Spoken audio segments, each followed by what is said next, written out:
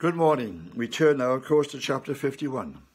Yes, we're moving through Isaiah, but there's so much in these chapters. I advise you to read them again and look at them carefully because the Lord will speak to you through these chapters 49, 50, and now chapter 51.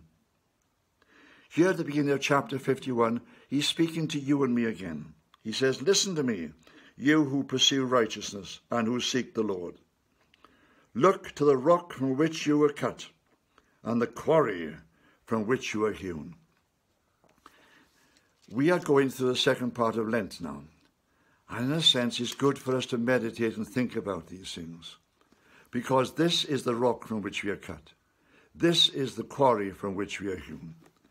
This is what brought the Christian faith into being. Jesus willing to suffer these indignities, to suffer in this way, to go to the cross in this way, to be mocked. Remember, always remember, the nails did not keep Jesus on the cross. If it was the nails that kept him there, then he was a very weak person indeed. What kept Jesus on the cross was his love his love for you and his love for me. That's what kept him there. He knew he had to go through that, or you and I could not have eternal life. But now God is saying to you and me, look back to this again. And as we go through Lent and as we approach the great feast of Easter, think about it again. Think about it again. Go back and wonder about it. That this is what God chose in the scripture here, he goes back to Abraham. He says, Look towards Abraham. Look at the, at the whole history of the Jewish people. You know, if, if anything was to prove the existence of God, is the history of the Jewish people. Because over and over again, they were attacked. And over again, over again, they were despised. And even today, you know, anti Semitism shows how much Satan hates the Jewish people. He hates them because over and over again they have proven that God exists.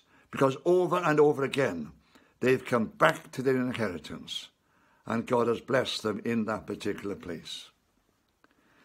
We are Christians and we stand as Gentiles, we stand alongside our Jewish people.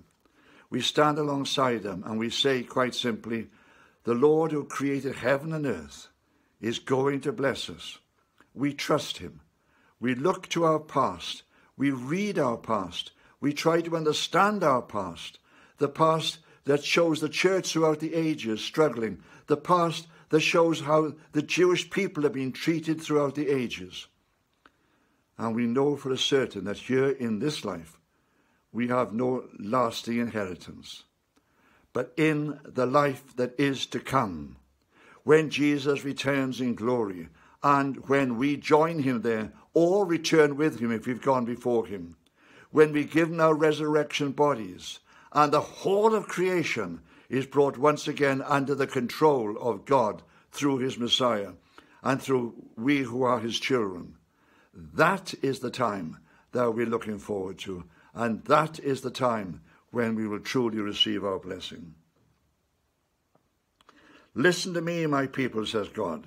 Hear me, my nation. Instruction will go out from me. My justice will become a light to the nations. My righteousness draws near speedily. My salvation is on the way, and my arm will bring justice to the nations. As Simeon said when the, the child was brought to him in the temple, when Joseph and Mary brought in the child to give thanks for the birth and offer the sacrifice, he picks up the child in his arms and he says, This is the light that would enlighten the nations. You see, Simeon knew. Simeon knew about the coming of Messiah. Why? Because Simeon had read Isaiah and he understood what Isaiah was saying. He realized this child is set for the falling and rising of many in Israel, and a sign that will be spoken against. But he will truly be the light that enlightens the nations.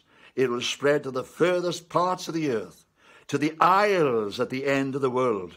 Yes, to Britain. Didn't know about the Americas then. But it'll go all the way to the, to the west, to the Americas, all the way across the Pacific, right throughout the world. The whole message is going to go out that God has created us and God loves us and God's going to bless us. Hear me, he says, you who know what is right, you people who have taken my instruction to heart. Do not fear the reproach of mere mortals, or be terrified by their insults. You know, the world will turn against us.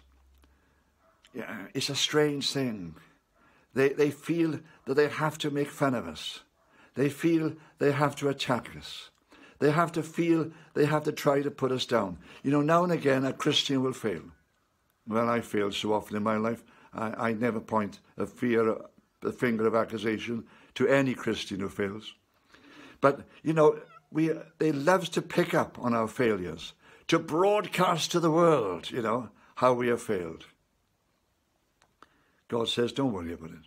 Don't worry about it. Anything you have ever done wrong, any failure you may have ever committed, I will compensate for it. Yes, every sin I will forgive, every single one. In my kingdom, there will be people without any trace of sin at all. Why? Because I have forgiven it. Amen.